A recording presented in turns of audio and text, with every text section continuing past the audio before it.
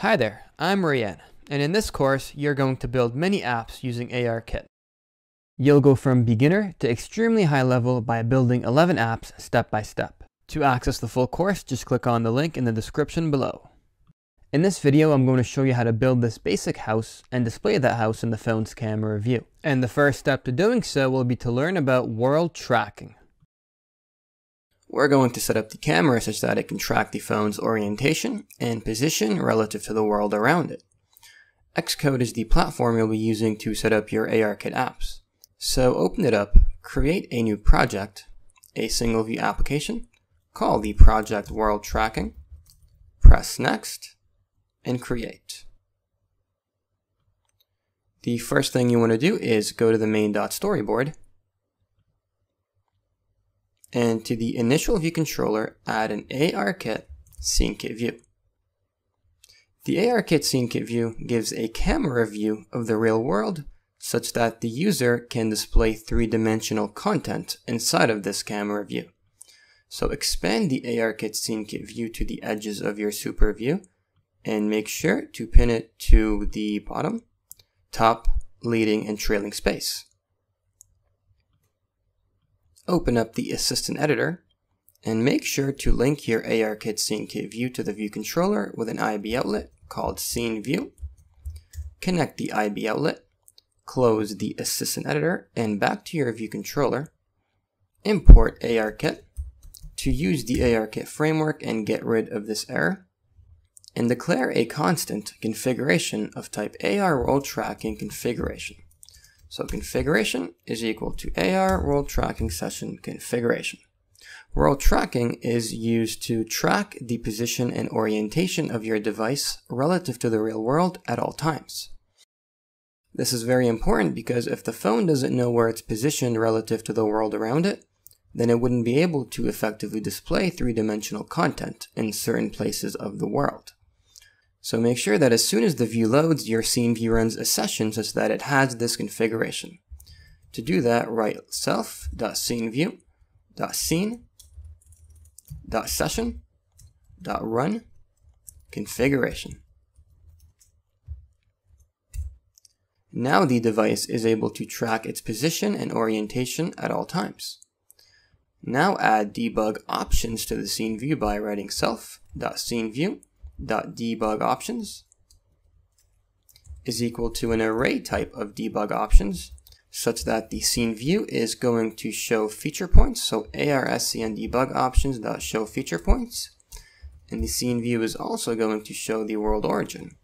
arscn debug options dot show world origin. Adding debug options doesn't really do anything in terms of functionality. It simply helps us debug the app by showing us if the world origin was properly detected and if the feature points are constantly being discovered. The world origin is your starting position in the real world. So as soon as you launch the app, World Tracking detects everything in your environment and keeps track of where you started. The starting position is your world origin. Feature points are simply information about features in the world around you that the device detected. The device remembers all of that information to precisely pinpoint your position at all times. This will be more clear to you when I run the app. But before running it, there is one last step we have to do, which is to go to your info.plist. Since you're using the camera, you need the property privacy. Press on the plus button, privacy, Camera Usage Description. This property displays an alert to the user asking him or her to allow the app to use the camera. If you don't put this property, your app will simply crash. Add a descriptive message to that property saying, you need the camera to display cool ARKit content. This message is going to pop up to the user prompting him to enable the camera. So run the app Notice the alert prompting the user to allow the app to use the camera, as well as the descriptive message you gave it. You need the camera to display cool ARKit content. So enable the camera by pressing OK, and give the device a few seconds to figure out its position in the real world. So now if I move backwards, you should notice this three-dimensional coordinate system. We'll go over this coordinate system in more depth in other lectures. But for now, just know that this is the world origin and represents the starting position of the device relative to the real world. Once you launch the app, the scene view runs a session such that it's configured to track the device's orientation and position. After a couple of seconds, after it analyzes and recognizes the environment around it, it's able to track where my starting position is. If I move towards the origin, walk around it, or even rotate my device, the device is still able to pinpoint where my starting position is. In other words, the scene view's configuration is able to track where I started, and this could only mean that the phone is always keeping track of its current position and orientation. This is awesome. Now, see these yellow dots? These are called feature points. One of the ways the device can always keep track of its position is by detecting features in its surrounding environment as unique pieces of information. That information is used to precisely pinpoint the current position and orientation of your device. In the next video, are going to display a three-dimensional virtual object in the physical world. In the last video, you were able to set up world tracking such that the phone always knows its position and orientation, as well as its starting position. In this video, you're going to display a box in the physical world such that it's positioned 0.3 meters away from the starting position, the world origin. So first off, go to the main.storyboard and to the initial view controller, add a button to the bottom left. Call the button add and pin it to the bottom left by about 20 pixels from the leading space and from the bottom space with a width and height of about 80 pixels. Add the four constraints and I seem to have placed a height of 800 where I should have placed 80 instead. Let me just fix that in my size inspector. And it looks good. Now back into my attributes inspector, let me place a background color of white. Okay, open up the assistant editor and link your button to the view controller with an IB action. Call the IB action add, make sure it's an action, not an outlet connect the action, close the assistant editor, and back to your view controller. This IB action gets triggered every time you press the add button, so every time you press it, declare a node by writing let node is equal to scn node. So a node is simply a position in space. It has no shape, no size, and no color. Put the node inside of the scene view by writing self dot scene view dot scene dot root node dot add child node node. So the scene is what's displaying the camera view of the real world.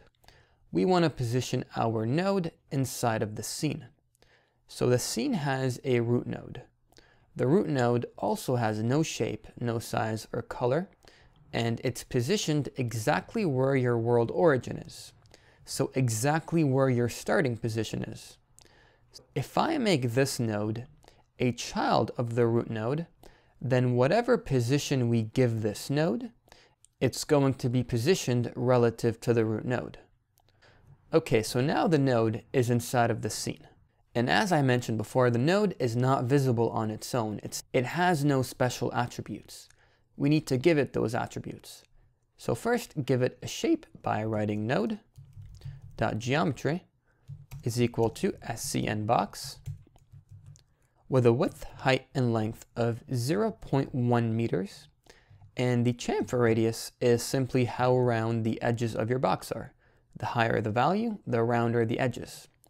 We'll play with this in the future, but for now I'm just going to leave it as zero. So by giving this a value of zero, the box will have firm edges because I'm telling the node to take away zero meters from the edges. Therefore, don't take anything away from the edges, leave it firm. Now you should give the node a color. To do that, write node dot geometry dot first material. First material defines the appearance of the surface of our node, of our box for that matter. And now write dot diffuse. Diffuse represents the color that's spread across the entire surface of our box. I'm going to give it a color of blue. So dot contents is equal to UI color dot blue. Feel free to give it any color that you want. So now you gave this node a shape. It's a box with dimensions of 0.1 meters and no chamfer radius. It's going to be a firm box. And you also gave the node a color that's spread across its surface, a color of blue. The node is also inside of our scene's camera view.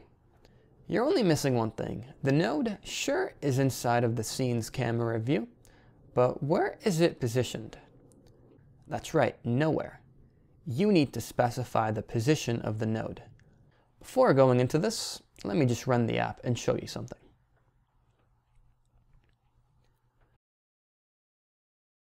So let me just wait till the phone recognizes its surroundings. And as soon as it does, the world origin should load. And here is the world origin. Remember how I said that the world origin, your starting position is actually a coordinate system? Well, it is. The red line you see right here is the x-axis, the horizontal axis and the green line is the y-axis, the vertical axis. The blue line right here you see is the z-axis, which refers to depth. How far or how close something is to the origin to the starting position, inwards or outwards. So back to Xcode. We're going to position our node relative to the root node, relative to the starting position. So write node dot position is equal to SCN vector 3, 0, 0, and 0. SCN vector 3 represents a three-dimensional vector. We need a three-dimensional vector since the node's position is based on three axes, the x, y, and z axes. This represents the x value, your y value, and your z value.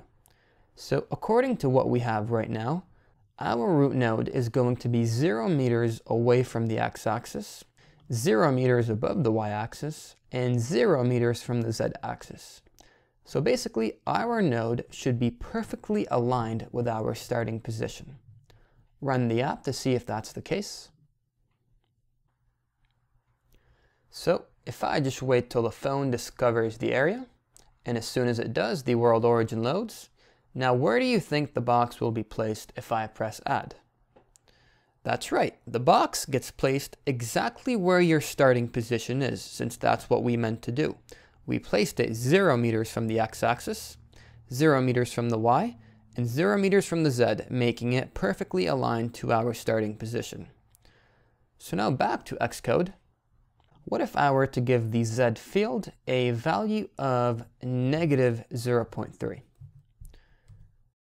what will happen is the box will be 0.3 meters away from the origin behind it. Behind it since we added a negative. If we took off the negative, the node would be 0.3 meters in front of the world origin. Run the app.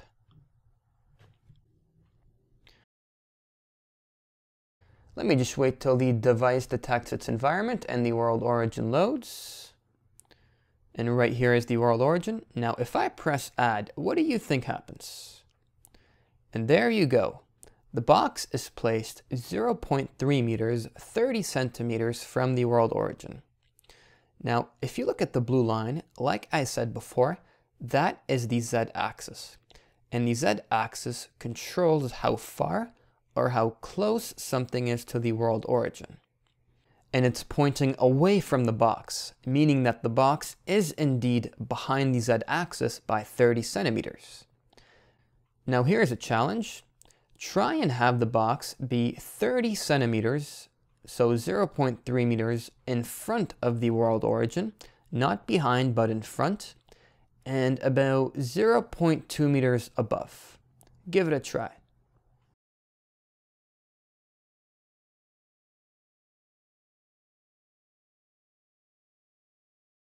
So here's what you would do. 0.3 meters in front of the z-axis, that would just be a positive value for 0.3. And if you want to place something above or below the world origin, what you would have to do is change the y value. We're going to position it relative to the y-axis. So to place it 0.2 meters above the origin, just put 0.2 for the y field and you should be good to go. Run the app. So I'm just going to wait till the phone detects its environment and as soon as it does, the world origin should load right here. And if I press add, where do you think the box will be placed? So 0.2 meters above the y-axis and 0.3 meters from the blue line in front of it. And there is our box. 0.2 meters above the y-axis and 0.3 meters in front of the blue line, the z-axis. Now try and place the box 0.2 meters to the right of the world origin. Pause the video and give this one a try.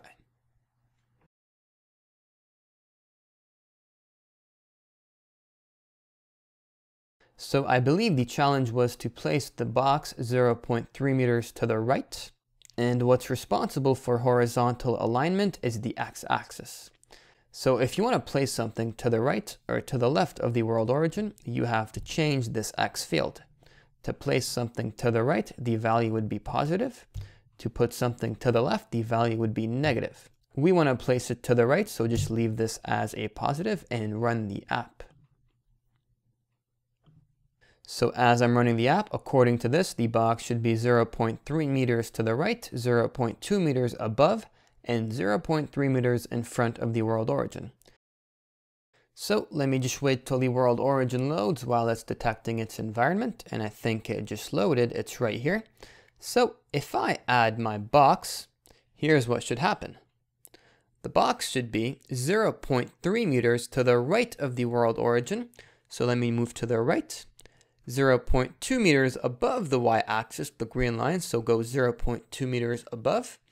And now if I point my phone such that it's looking 0.3 meters to the front of the z-axis, there is our box.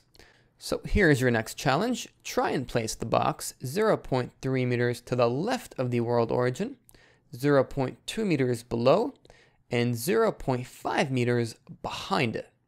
Pause the video and give this one a try. I believe the challenge was 0.3 meters to the left. And what controls horizontal alignment is our x field. So put negative 0.3 since it's to the left. And what controls the vertical alignment is our y-axis, the green line. Put negative 0.2 for that one since it's going to be below the vertical y-axis. And 0.3 meters behind the z-axis. Just put a negative 0.3 for this. Actually, I believe it was 0.5 the challenge was. Okay, so run the app. Okay, so let me just wait until the device has a good read on its environment. As soon as it does, the world origin loads. And now if I press add, the box should be 0.3 meters to the left of the x-axis, 0.2 meters below the y-axis, and look, it's 0.5 meters behind the z-axis right there. And that's it for positioning nodes. In the next video, let's look at resetting a scene view session. In your last video, you learned how to create a node, give it a shape, color, and position it relative to your starting position, the world origin. In this video, we're going to look at resetting a scene view session. In Xcode, change this back to 0, 0, and negative 0.3. Run the app, and you've seen this before. It's aligned horizontally and vertically since you set the x and y fields as 0, but it's 0.3 meters away from the z-axis of the world origin behind it. You've probably noticed that if you keep pressing add over and over, nothing happens. Well, that makes sense, since you're always adding the box in the same position every time. So you are indeed adding a box every time, it just doesn't look like anything is happening since it's always in the same position. Now what if I wanted the box to be positioned somewhere else? The box is positioned relative to the origin, so that would mean that I would have to change the position of the world origin. But how do you change your starting position? That's where you started, right? Well, the answer is that you reset the scene view session such that it detects a new starting position. So in your storyboard, add a button, right button, put it to the bottom right of your view controller, pin it 20 pixels from the bottom space and 20 pixels from your trailing space.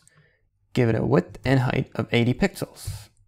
Add the four constraints, go to your attributes inspector and give the button a background color of orange, or whatever color you like, it's up to you. Call this button reset, open up the assistant editor, and link the reset button with an IB action to your view controller. Call the IB action reset, connect it, and close the assistant editor.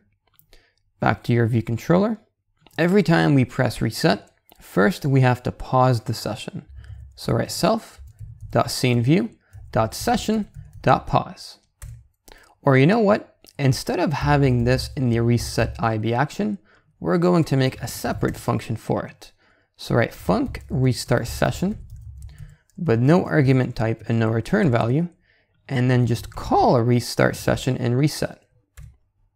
So now every time you press reset, this function gets triggered, and inside this function, we're going to pause the scene view session. So self.sceneview.session.pause. So when you pause the session, it stops keeping track of your position or orientation. Now remove the box node from the scene view by writing self.sceneview.scene.rootNode.enumerate child nodes. Put the first argument as node, and the second argument, just leave it blank. We're not going to use it for now. Okay, now I explained before that node is a child of the root node. You can even see it right here, root, root child node. Node. So we're enumerating through every single child node of the root node, the box node being one of them. And so the box node is what we're going to remove from the parent node. So write node dot remove from parent node. By removing the box from the root node, or its parent node, we're removing it from the scene view. Now that we got rid of the box, rerun the session such that it has the same configuration. So self.sceneview.session.run configuration. As for the options, however, we're going to have the scene such that it resets tracking. So it would forget about your old starting position and make a new one based on where you are at the moment. And we're going to remove existing anchors. And the reason this isn't working is because it should be inside of an array. So autocomplete should work now. Dot remove existing anchors, which makes sense because this is a collection of things and array is a collection type. But anyway, remove existing anchors. An anchor is simply information of the position and orientation of an object in the scene view. We're removing all of that information as well and starting from scratch. So run the app, press add, it gives you a box, walk away from the origin, reset, give the device time to reestablish its surroundings, add a box again, and it shows up in a new position, since our starting position changed. So the box is positioning itself relative to a new starting origin. In the next video, we're going to customize our box and place it in random locations instead of just one. In the last video, we learned how to reset a scene view session such that we can reposition nodes based on a new starting world origin. In this video, we're going to further customize nodes and position them in random places. So first, change the chamfer radius to about 0.03. So what this will do is it will cut off about 3 centimeters, 0.03 meters from the edges of the box, giving it a rounder edge. Run the app, if you look at the box very closely, notice that the edges are rounder. If you want to make a sphere, back to Xcode, make sure that all of these dimensions are the same and make the chamfer radius one half of all of these dimensions. So write 0.1 divided by 2. So the trick is if all of the dimensions have the same measurement and you divide that measurement by 2, you will get a sphere. Run the app Wait till the world origin loads, press add, and it gives us a sphere. This will be useful once you get to drawing in three dimensions. For now though, change this back to 0.03 and give the box a specular light by writing node.geometry.firstMaterial.specular.contents is equal to UI color.white. So first material is the appearance of a surface, as I explained before, and specular is light that's reflected off of a surface. We're giving that light a color of white, so a white light is going to reflect off of the surface of the box. Run the app to see how this works. Wait till the world origin loads. Press add and notice that nothing happens. There is no white light reflecting. The reason is you need to give the scene view a source of light for the node to be able to reflect it. So in View.did.load, right when we run our session, we're going to add lighting by writing self.sceneView.auto-enables default lighting is equal to true. By doing this, you're putting an omnidirectional light source in the scene view. An omnidirectional light source is simply light that spreads across the entire scene. Now that we have light, run the app again. Wait till the world origin loads, press add, and you get a reflection of white from the box.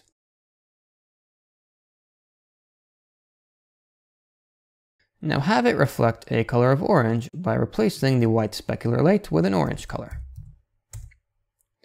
Run the app, press add, and it reflects an orange color. Now, instead of positioning the box in one place, we're going to position it in many places. This function is inside of your resources folder. Make sure to copy it into your Xcode project.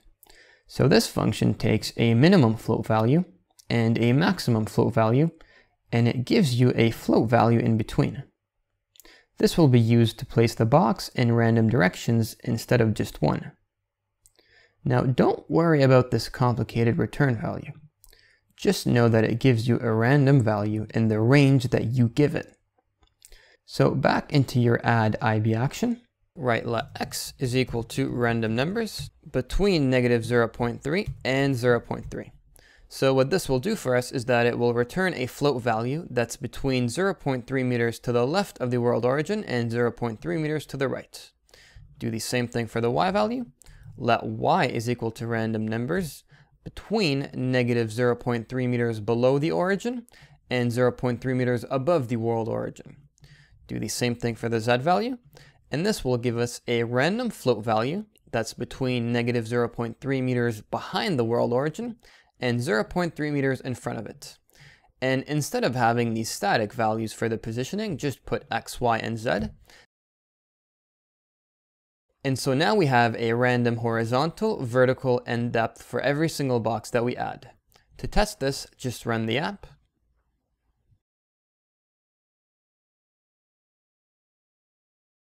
Let me just wait till the world origin loads.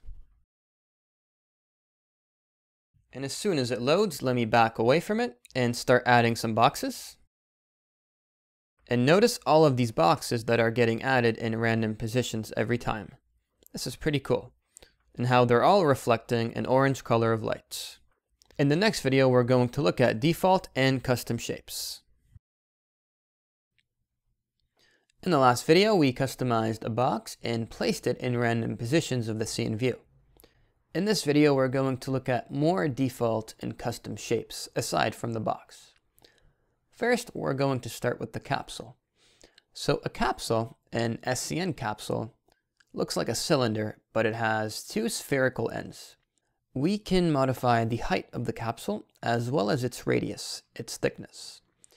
So back in Xcode, instead of declaring the box, let me just comment all of this out and write node.geometry is equal to scn capsule and the capsule's dimensions are going to be the following. First, we're going to change the cap radius. Let me just fix the autocomplete. So as I said before, the cap radius is simply how thick the capsule is. So I'm going to make it about 0.1 meters thick, and its height will be about 0.3 meters. So let me just keep the specular and diffuse colors and run the app. Wait till the world origin loads. As soon as it detects the environment, once it does, add the capsule. And you know what? One thing I want to change before anything is place the capsule right in front of me. We're done with this random positioning stuff. Align it horizontally and vertically and place it 0.3 meters behind the z-axis since that is easier to work with. Just rerun the app.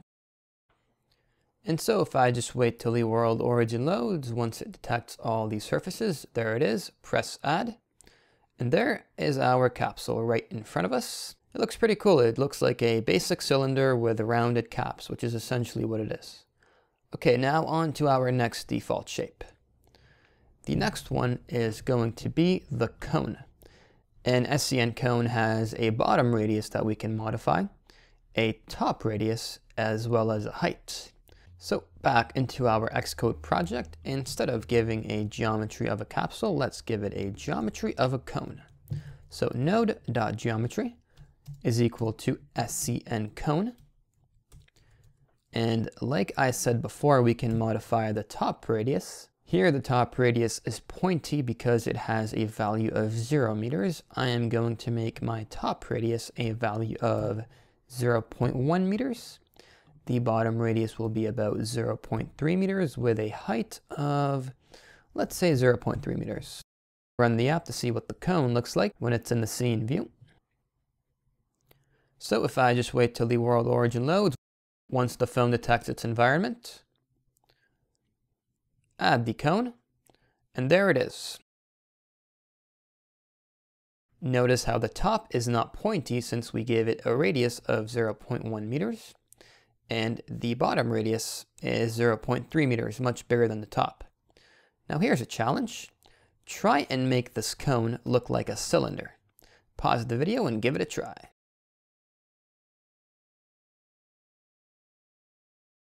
So to make the cone look like a cylinder, all you have to do is make the top equal to the bottom. So 0.3 for the top radius, or you know what? Let's just make both of them 0.1 meters. It doesn't really matter as long as these are the same. Run the app. Just wait till the world origin loads for the phone to detect its environment. Press add. And there is our cone, or cylinder for that matter. Okay, so the next shape we're going to look at is the cylinder itself. Ironically, we just made a cylinder out of a cone, but this time we're going to mess around with the actual cylinder shape, and there's not much to a cylinder. You can control its radius, basically how thick it is, as well as its height. So instead of declaring a cone, declare a cylinder. So right node.geometry is equal to scn cylinder with a radius of about 0.2 meters, 20 centimeters, and a height of 0.2 meters. And you probably already know what this is going to look like, so let's just run the app. As soon as my world origin loads, I'm just going to add the cylinder. Let me just back off a little bit. There is our cylinder. It has a radius of 0.2 meters, so a diameter of 40 centimeters, which is why it's so wide. Let me just get a better angle of it. And it has a height of 20 centimeters as well. Okay, now the next shape we're going to look at, let me just go to the Apple documentation, is an SCN sphere. An SCN sphere is a pretty basic shape. You've probably seen it before all we can modify for the sphere is the radius itself. So why don't you pause the video and try to make your own sphere node.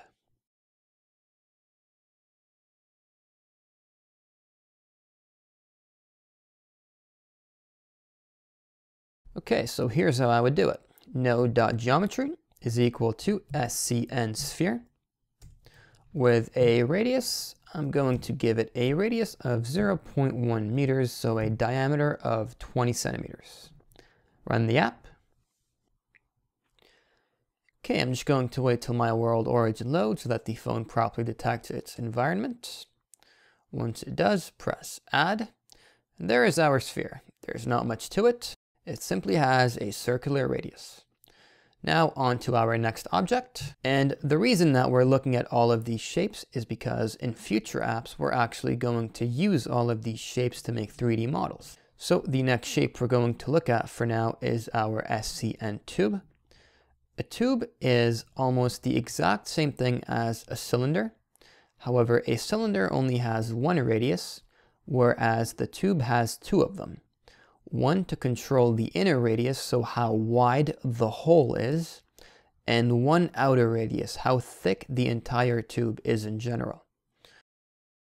Back to Xcode, let me declare this SCN tube. Node.geometry is equal to SCN tube.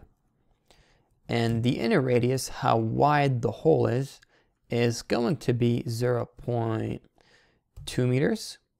Make the outer radius about 0.3 meters. So the tube is going to have a hole with a radius of 0.2 meters. So the hole in general is going to have a diameter of 0.4 meters. And from the center all the way to the edge of the tube, we're going to have an outer radius of 0.3 meters. The height will be about 0.5 meters. And let's run the app to see how this looks. So if I just wait till my world origin loads and then press add, let me just step away from this a little bit.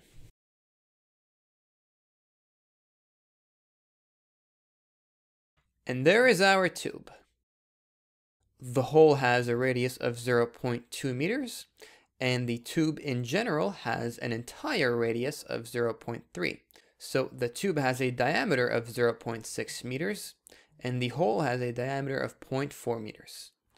Now the next shape we're going to look at is a torus. So back to our Apple documentation. The torus kind of looks like a ring. It has a ring radius which extends from the middle to the edge of the ring and a pipe radius which controls the thickness of the ring. We're going to use this torus shape in the future to make our basketball hoop. So for now, let's just declare a torus inside of our Xcode project. Node.geometry is equal to scn torus. And the ring radius, so how wide the torus is from the center all the way to the edge, is going to be about 0.3 meters. And the pipe radius, which controls the thickness of the ring, is going to be about 0.2 meters or you know what, 0.1 meters. Your pipe radius should always be smaller than your ring radius because your ring radius minus your pipe radius is basically how big the hole of your torus. So if you had a ring radius of let's say 0.2 meters and a pipe radius of 0.3, your hole would be negative 0.1 meters wide, which makes no sense. You would kind of have an inverted hole of some sort. Your torus would just look really weird. Whenever you're building a 3D model that requires a torus, just make sure that your ring radius is always larger than your pipe radius. And before running the app, let me just start placing the nodes about negative 0.7 meters behind the world origin. Now let me just run it. Okay, so I'm just going to wait till the world origin loads and then press add. So here is our torus. It has a ring radius of 0.3 which extends from the center all the way to the edge and a pipe radius so the thickness of the ring has a radius of 0.1 meters. Now the next shape we're going to look at is a plane. To find the plane in the Apple documentation, just write SCN plane. And right here, you'll see that the plane is simply a vertical surface with a width and a height and it has no extrusion depth whatsoever. It's simply a flat surface with no depth. So let's declare a plane. And the plane is something we're going to use a lot in this course, especially for our vehicle app when we have to build a road. So the width of the plane is going to be about 0.2 meters and do the same thing for the height. Run the app. If I just wait till the world origin loads and then add my plane, here it is. From here it looks like a box, but if I go from the side, you'll notice that the plane has no depth. It's just a flat surface with a width and a height of 0.2 meters. Okay, now on to our pyramid. Find the pyramid, I'm just going to write SCN pyramid to find it in our Apple documentation. And the pyramid is exactly what you would expect it to be. It has a length to control its depth, a width, and a height. So let's declare a pyramid right into our project. Node.geometry is equal to SCN pyramid. The pyramid is going to have a width of 0.1 meters, a height of 0.1 meters, and a length, a depth of 0.1 meters. Let's run the app to see how this looks. Okay, now if I just press add, here is our pyramid. From here it looks like a triangle, but this pyramid actually has a depth. So if I just go from the side, it has a depth of 0.1 meters, which we specified right here. Okay, now we're going to go into some cool stuff, which is the Bezier path. The Bezier path is used to create custom shapes from a path that you draw. So what do I mean by this? First off, right let path is equal to UI Bezier path. We're going to start our path zero meters from where you positioned it. So 2cg point, x is zero, and y is zero. Think of the game Connect the Dots. If you connect every dot with a line, eventually you're going to form a drawing. This is the same concept. We're going to draw lines from one point to another until we form a custom shape. Let's remove this node dot geometry since we're not going to put a pyramid anymore. So we're aligning our path exactly where our node is currently positioned. And then we're going to add a line from this position. So write path dot add line to cg point, x being 0, and now y will be 0 0.2. So we're starting our path wherever it's positioned, so right here, and then we're adding a line that goes 0 0.2 meters upwards. So let's assign this to our geometry, and to do that, write let shape is equal to scn shape the path is simply going to be the path that you drew, and the extrusion depth basically gives your drawing a certain thickness. We're going to give it a thickness of 0.2 meters. And now assign this shape to the geometry by writing node.geometry is equal to shape. And if you're not sure what happened, it'll be more clear to you once I run the app and explain it. Just going to wait till the world origin loads. As soon as it loads, add your Bezier path. And this is the line that we drew. The line starts zero meters from the current position that you gave it, and it goes 0.2 meters upwards. So we drew a line from zero meters of the position that you gave it, such that it goes 0.2 meters upwards, and the line has a thickness, an extrusion depth of 0.2 meters. And from the top, we're going to go diagonally up. I want you to pause the video and try and do that one yourself.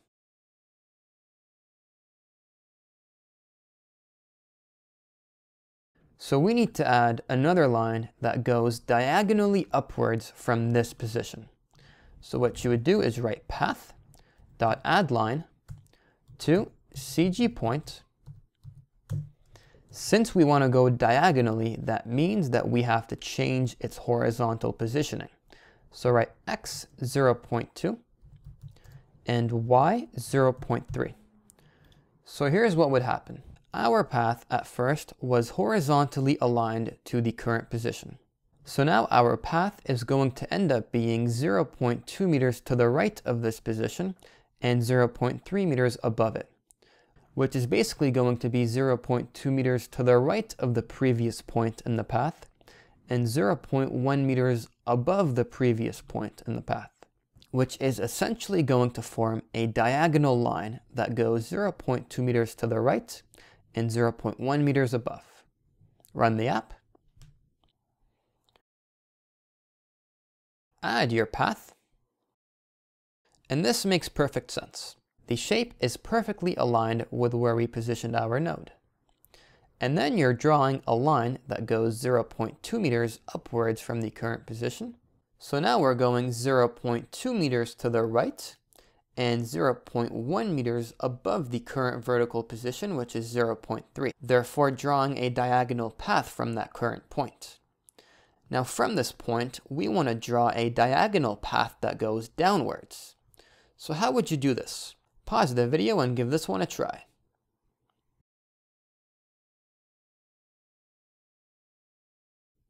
So we need to go diagonally downwards. Our x value has to change such that it goes to the right, and our y value has to change as well, such that it goes back down. From this point, we're going to add another line. So write path dot add line 2, CG point. And now from the position that's 0.2 meters to the right of the origin, we're going to go another 0.2 meters, so 0.4. But this time we're going to travel back downwards. We're going to travel back to 0.2 meters above the origin.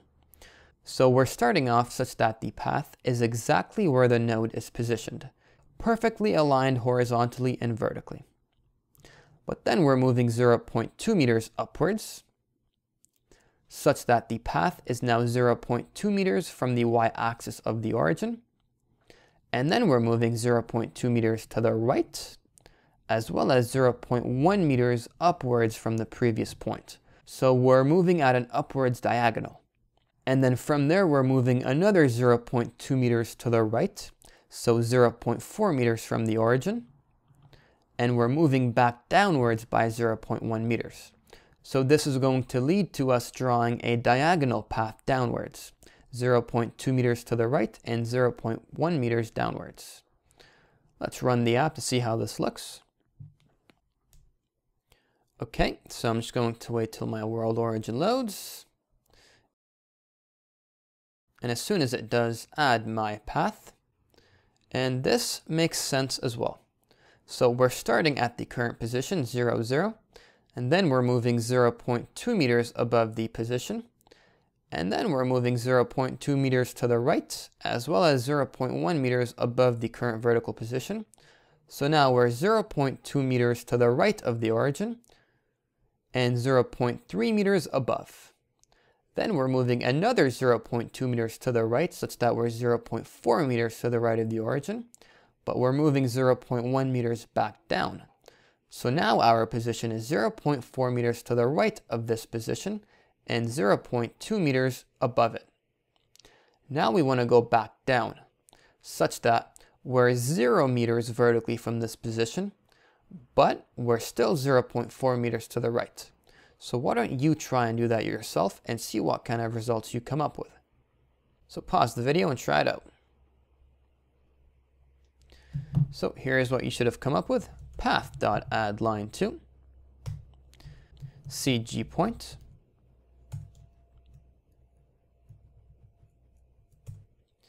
Our x value will remain the same since we're not going to be moving in the horizontal direction, but we want to go back down to the previous position. So put 0 right here.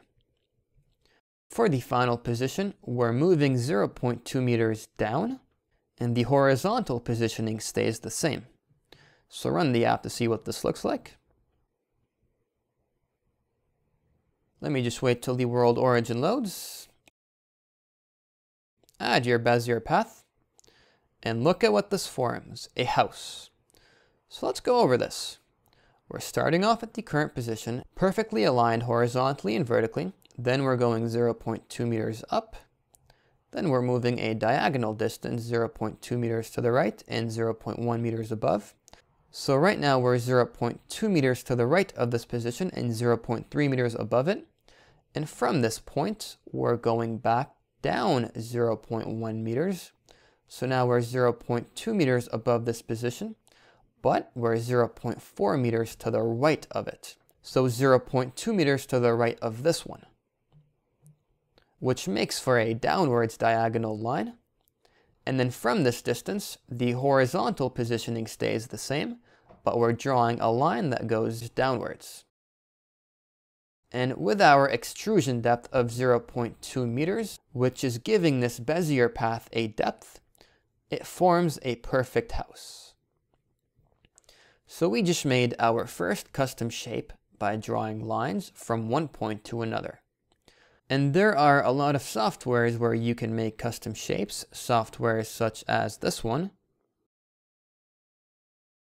If you were to use it, you would manually make your own custom shape, and once you make it, it would convert that custom shape for you in code, UI Bezier path code that you would just copy into your Xcode project to load the custom shape that you made. There are many apps just like this one. For example, there is the Bezier code vector drawing to Objective-C code. There are some apps for Swift code, but it's really not hard to convert Objective-C to Swift. There are many tools to do that.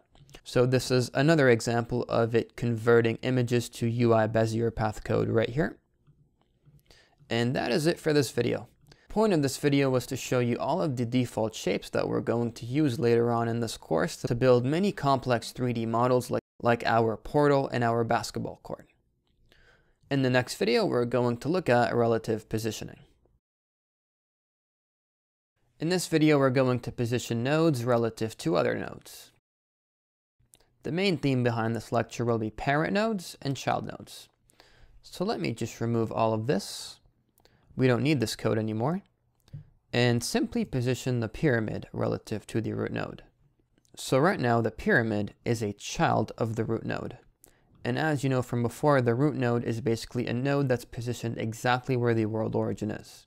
And since the pyramid is a child of the root node, it's going to be positioned relative to the root node. So now position the pyramid about 0.2 meters to the right of the root node, about 0.3 meters above it, and negative 0.2 meters behind it. And your challenge is to try and place a cylinder 0.3 meters to the left of the pyramid, 0.2 meters above, and 0.3 meters behind it. Pause the video and give it a try. So first off, just declare your cylinder node let cylinder node is equal to SCN node.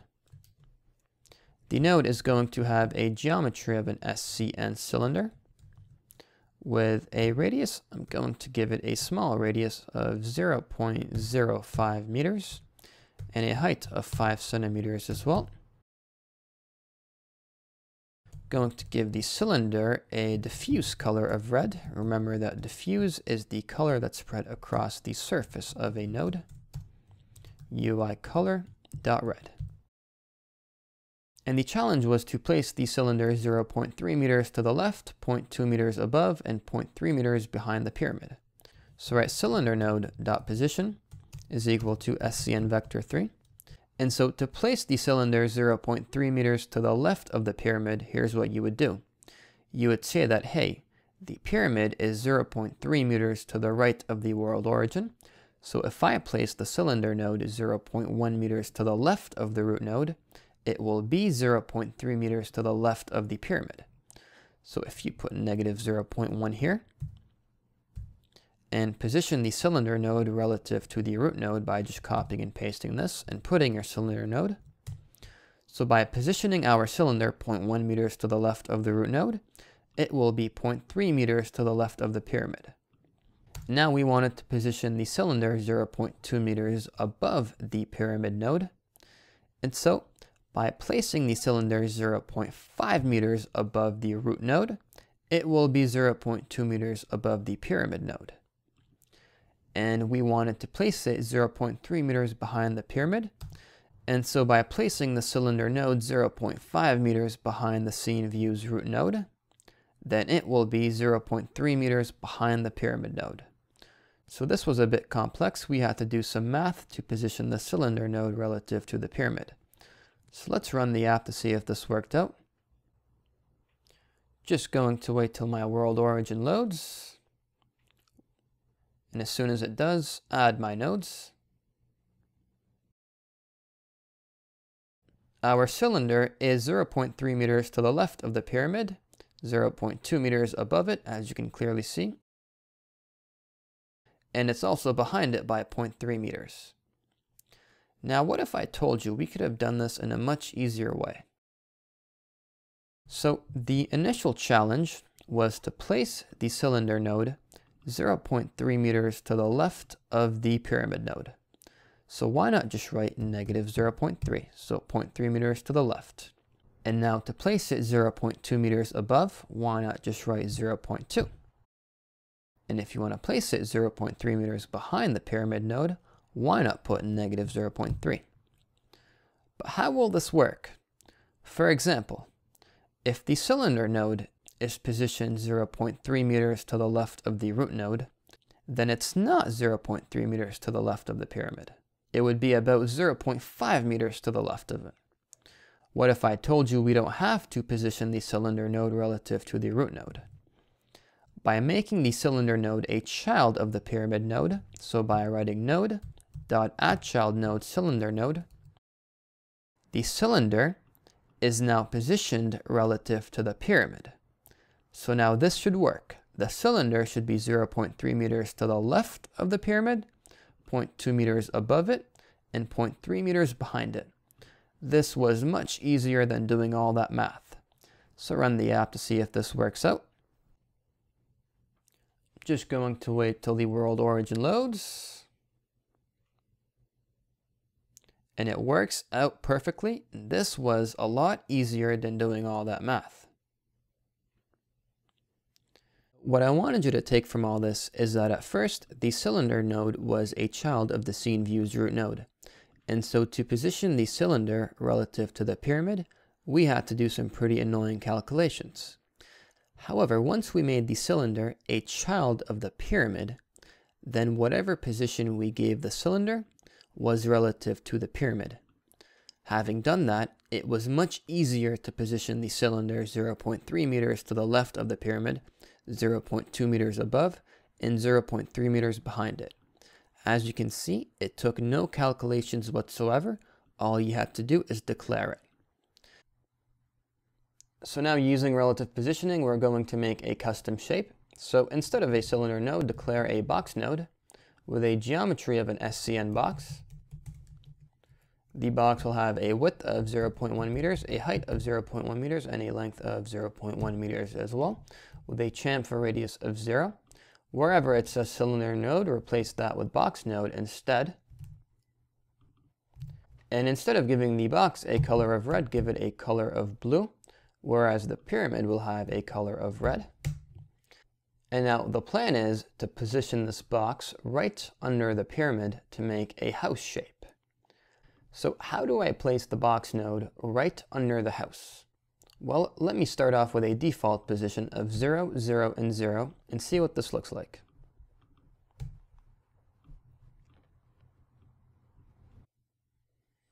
So if I just wait till the world origin loads, and as soon as it loads, add your supposed house.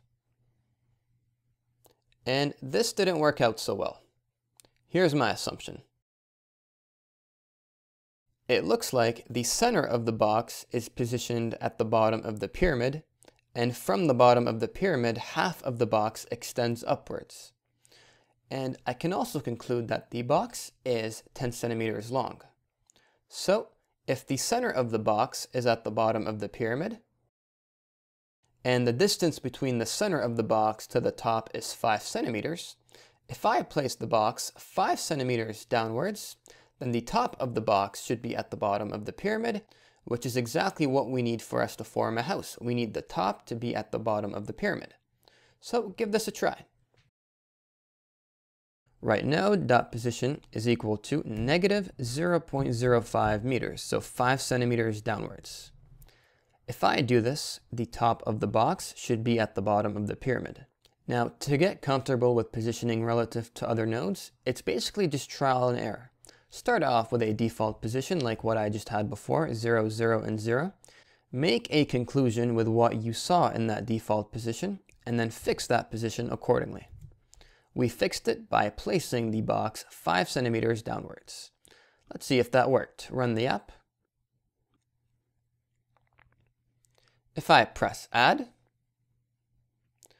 and there is our house. The, the top of the box is right under the pyramid as I predicted. Now, what if I wanted to give the walls a door? Back to the Xcode project, stop running the app, and write let door node is equal to SCN node with a geometry of an SCN plane. We looked at planes in the last lecture and we determined that planes are simply flat vertical surfaces. So give this plane a width of about 3 centimeters and a height of 6 centimeters. This should be a fair size. Give the door node a color of brown. So door node.geometry.firstMaterial.diffuse. Remember, diffuse is the color that's spread across the surface of a node. We're giving that surface a color of brown. So I want to place the door node at the edge of the box. We're positioning the door relative to the box. So what should the next step be? Pause the video and give this one a try. So I'm hoping you did the following.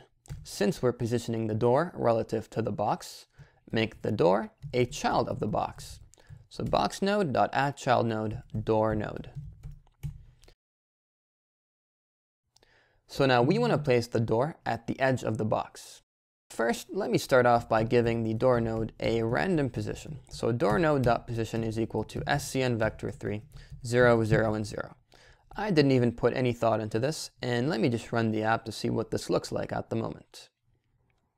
So just wait till the world origin loads.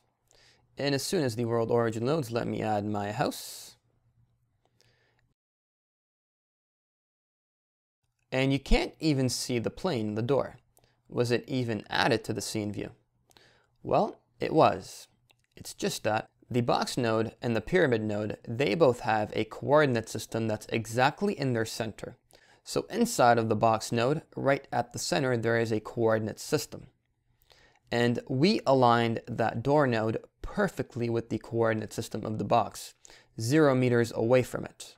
And so since the door node is exactly at the center of the box, First off, we can conclude that the box has a depth of 10 centimeters. So if the door node is exactly at the center of the box, then that means that the door is 5 centimeters away from the edge. How did I conclude this? Well, the box node has a depth of 10 centimeters. And so that could only mean that the distance between the center of the box to the edge is 5 centimeters. So if I place the door node 5 centimeters away from the center of the box, it should be right at the edge. Run the app. If I just wait till the world origin loads, and then add my house, the door node is 5 centimeters away from the center of the box, which puts it right at the edge. The reason why the door node is acting this way is because it is right at the edge of the box. We need to place it a little bit in front of the edge so that it stops interfering with the edges of the box node. Instead of 0.05, place it a little bit in front of the edge. So put 0.053 or something, 3 millimeters away from the edge, and we should be good to go. So if I just wait till the world origin loads and then I add my house, there it is. Our door is right in front of our box, about 3 millimeters away. And now I can conclude that vertically, the center of the node is vertically aligned with the center of the box. And so if I go back to my Xcode, so the box node has a height of 10 centimeters. So the distance from the center of the box node to the bottom edge should be 5 centimeters. The door node's center is perfectly aligned with the center of the box node. So the distance from the center of the door node to the bottom edge of the box node is also 5 centimeters. And so from the center of the box node, the door node extends downwards by 3 centimeters. So if I just do 5 centimeters minus 3, I can conclude that the bottom of the door node is 2 centimeters away from the bottom edge of the box node. So if I move the door node downwards by 2 centimeters, it should be right at the bottom edge of the box, and I moved it down 20 centimeters, it should be 2 centimeters. So let me run the app to see what this looks like. If I just wait till the world origin loads, and then add my house, there you go. The door node is positioned right at the bottom edge of our house. The last thing I can tell you is to be comfortable with making custom shapes with relative positioning, you just have to keep practicing. At first, it's going to be a game of trial and error, but eventually you'll get the hang of it. So if you want to make more custom shapes with the relative positioning, always start with a default position, which in our case, we used a default position at first of 0, 0, 0, and then from that position, make conclusions on how you need to modify the position to get the custom shape that you want. And that is it for the introduction of this course. To access the full version of this course and make really cool apps, make sure to click the link in the description below.